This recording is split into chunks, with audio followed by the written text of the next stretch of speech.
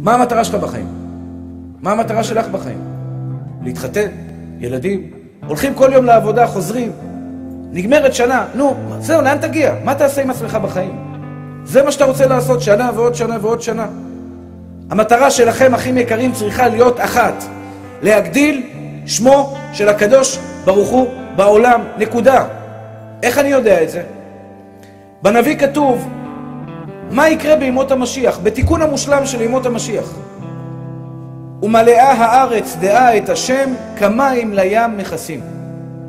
כשיבוא מלך המשיח בעזרת השם שהעולם שלנו יגיע לתיקונו המוחלט, מה ידברו כולם? ומלאה הארץ דעה את השם. כולם רק ידברו על בורא עולם.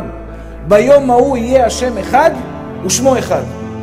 לא תהיה לנו שום יכולת להבין דבר אחר, חוץ מדבר אחד. השם אחד ושמו אחד. זה יהיה תיקון עולם במלכות שדי. התפקיד שלנו פה היום זה לתקן עולם במלכות שדי, להביא כמה שאנחנו יכולים את שמו הגדול והקדוש יתברך ויתעלה שמו את בורא עולם, שכל אדם בעולם ידע שיש מלך לעולם והוא אחד, יחיד ומיוחד, ואין שום דבר מבלעדי השם יתברך.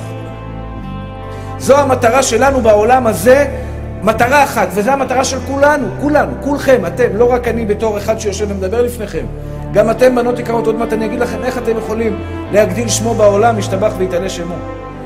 מטרה שלך בחיים להגדיל שמו בעולם. אני אומר לכם, אחים יקרים, אם תיקחו את הכסף, תשימו אותו בצד, מטרה משנית. אם תיקחו את הבריאות, שימו אותו בצד, מטרה משנית. ילדים, מטרה משנית. משפחה, מטרה משנית. אה, אה, אוכל, ארוחת בוקר, חברים, מטרה משנית. מטרה עיקרית, להגדיל שמו של הקדוש ברוך הוא בעולם, ביום ההוא יהיה השם אחד ושמו אחד. אם זה המטרה שלכם, כל המטרות המשניות הוא כבר ידאג לכם. הוא כבר ידאג לכם. גם אם לא מגיע לכם כלום, הוא ייתן לכם כי אתם מגדילים את שמו בעולם, לא בשבילכם, בשביל מי שתלוי בכם. הסגולה הגדולה ביותר בראש השנה. הסגולה הגדולה ביותר בראש השנה, לבקש מהקדוש ברוך הוא חיים, כך כתוב בספרים הקדושים. לבקש מהקדוש ברוך הוא חיים, בורא עולם, תזכה את הרבים. דוגמה למזכה הרבים. אני מאמין שכל אדם שיכול לדבר, כל אדם יכול לדבר. אתה יכול לדבר, אתה יכול לתת הרצאות, אתה יכול הכל, תאמין שאם אתה לא מאמין בזה, תחזור לשיעור של שבוע שעבר, שדיברנו, היפלא מהשם דבר. משה רבנו, תזכרו את הפסוק הזה, משה רבנו בא לקדוש ברוך הוא ואמר לו, ואנוכי ארל שפתיים. איך אני אדבר? אני אוציא את עם ישראל ממצרים, אמר לו הקדוש ברוך הוא, מי שם פה? אתה רוצה להיות בריא? אני אגיד לכם איך תהיו בריאים. שכנעו את הקדוש ברוך הוא שעם הבריאות שלכם אתם הולכים להפציץ את העולם בשמו של בורא עולם, משתבח שמו, ואתם מוכרים דבר טוב.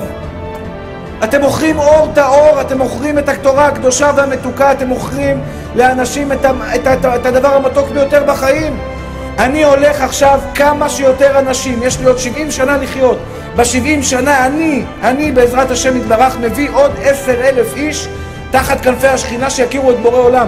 וזה יכול להיות בן אדם דתי שלא מתנהג כמו יהודי כמו שצריך, ואתה מקרב אותו שיהיה יהודי שומר תורה ומצוות על ידי אמונה, על ידי ביטחון, על ידי דברים אחרים.